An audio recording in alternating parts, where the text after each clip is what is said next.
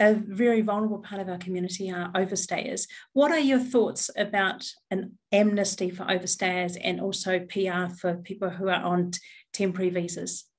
The first thing I'd say is that all of the care that's been provided for COVID, be it testing or be it vaccination, is not dependent on your on your immigration status.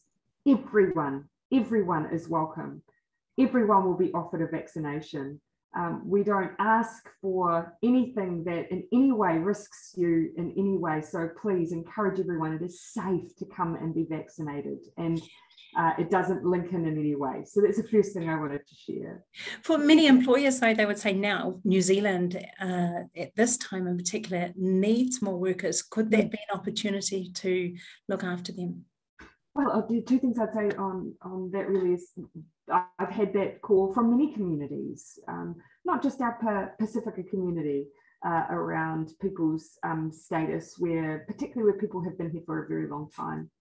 We've said while our borders are closed that we want to look at a bit of a a bit of a reset on immigration in New Zealand, making sure that for those um, you know who do come into New Zealand uh, and often may come in for temporary work, but who have stayed for a long time, just considering what the future looks like in the long term.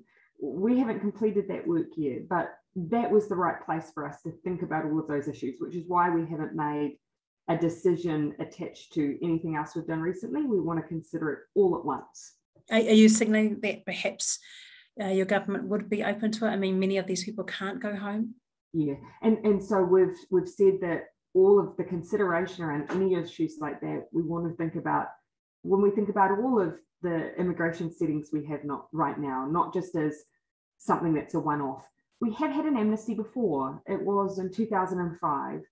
And one of the things under the under the previous Labour government, but one of the things that came through from that was whether or not necessarily people knew how to access that amnesty. So I hear that, but we haven't made any any decisions at this stage.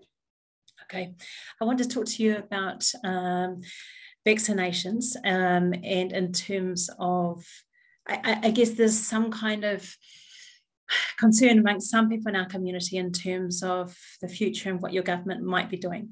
Um, will you be making it mandatory for everyone in the future? No, no. And that's been something that, you know, for, for us, we absolutely acknowledge uh, that people will, we want them to make their own decisions. There are areas of work though where we feel we have a real responsibility to keep people safe. So when you work for the government and you work at the border we know those workers do run the risk of coming into contact with covid and we feel responsible for those workers. So there are areas where we have said if you want to work in those jobs we require you to be vaccinated for your you and your family's safety but for the general population no we are not mandating vaccination for the population of new zealand you know, someone mentioned to me today there should be uh, more measures or restrictions uh, imposed to force people to become vaccinated. Are there some other kind of steps that you're looking at doing to try and, you know, lift the, the vaccination rate? Well, there's some, as I've said, some uh, areas of work where we think it will be safer for people. Um, and so you've already seen us uh, look at those areas. I think what we'll find is increasingly, if we want to travel overseas, countries won't take us unless we're vaccinated. And so I think there'll be really the pressure from others, regardless of what conditions we have in New Zealand. But I still think one of the best arguments that we have is uh, that if you and I are eligible to be vaccinated, there will be others because of perhaps their age and their youth, our, our very young children, for instance, who may not be. And to protect them, they need us to be vaccinated.